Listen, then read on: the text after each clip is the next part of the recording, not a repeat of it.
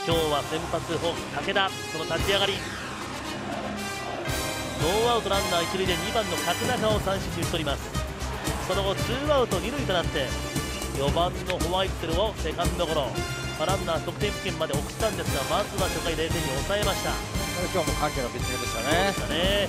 一方のマリン先発大嶺ランナーセカンドに置いて3番の内川カーブをしっかり捉えました。センター前のタイムリーヒット。長谷川ホームに帰ってきました。初回ちょっと球がね、高かったんですけどそんな感じがありましたね。見逃せなかったですよね、はい。さあ3回です。武田のピッチング。川本を変化球で三振に打ち取ります。岡田ショートゴロにとって江本もファーストゴロと。三者凡退にこの3回を抑えます。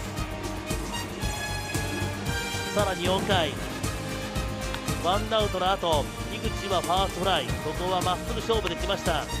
ホワイトルもサードのにとってまあ、この序盤から中盤にかけて武田がだんだん乗ってきたというシーンです。ね、はい、制球力も良かったですよね。ね。さあそして今度は大峰のピッチング。4回ランナーを置くんですがラヘアを三振。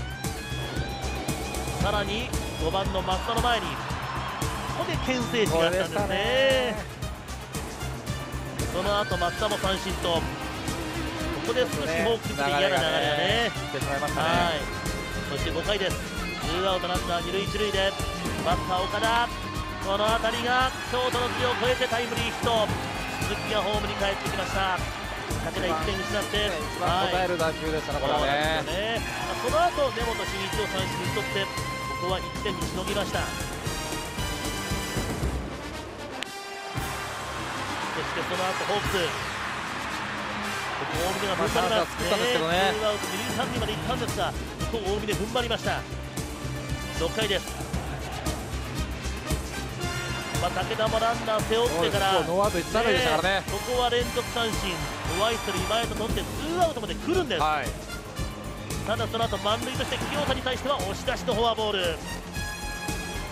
2点目